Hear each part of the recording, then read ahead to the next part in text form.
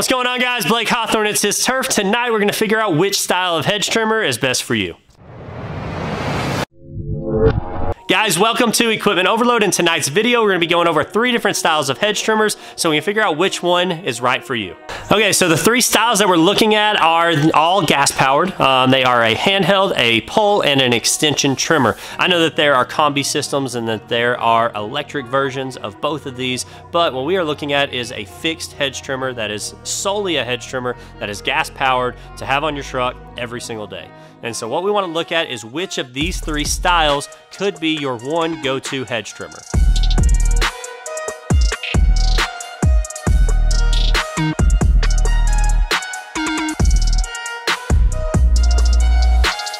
Initially starting out, I used my handheld hedge trimmers. Now, this was just something because it was easy to throw into the toolbox of the truck, grab it, go do some trimming, just a nice little handy set of hedge trimmers. The problem that you run into with this is whenever you start exceeding anything really up over like four feet, that's a decent sized shrub, it's hard to reach all of those places. So you're either one, working it from the front and the back and all the angles, or two, you're having to get a ladder to be able to reach up and to hit those spaces.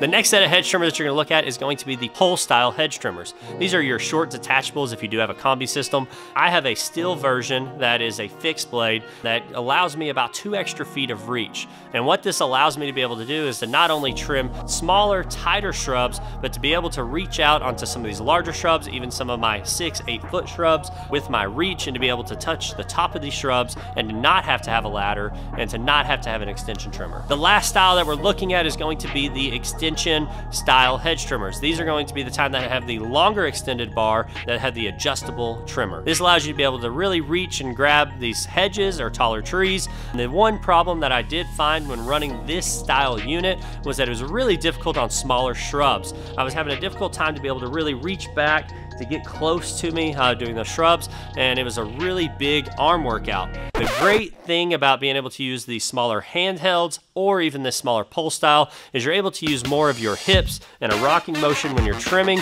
so that you're not wearing your arms out. If you can keep your arms fixed in that position as you're trimming, then you're just gonna be able to save yourself and be able to get more work done before you wear yourself out. So guys, that's the biggest thing is which one of these styles is going to wear you out the least and allow you the most versatility on the most types of shrubs.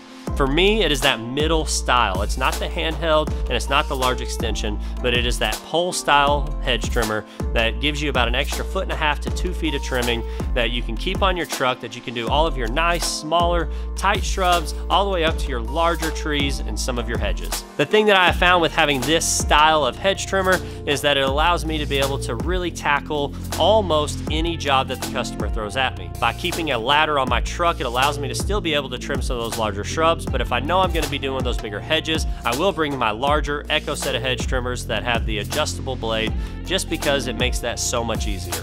There definitely is a time and place for that larger style hedge trimmer. For me, it's not in day-to-day -day operations. The handhelds are a great unit just to keep as a backup, but if I had to do over again, I think I would even buy an electric version of those hedge trimmers just because it would be simpler and it would be easier to just grab them to go and trim and not have to worry about having gas or not having gas and to be able to do that. Me and Kevin with Fall River did a video on gas versus electric. That was my first time ever using an electric hedge trimmer. If you haven't seen that video, be sure and go over to his channel and check it out. It was a lot of fun, and I think that you'll kind of enjoy seeing the two of those go toe to toe. But for those of you guys just starting out or looking to buy your next hedge trimmer, you really need to think about all of these things before you make your purchase. The reason being is so you don't throw $300 at this style of hedge trimmer, then throw 400 at this style, 600 at that style.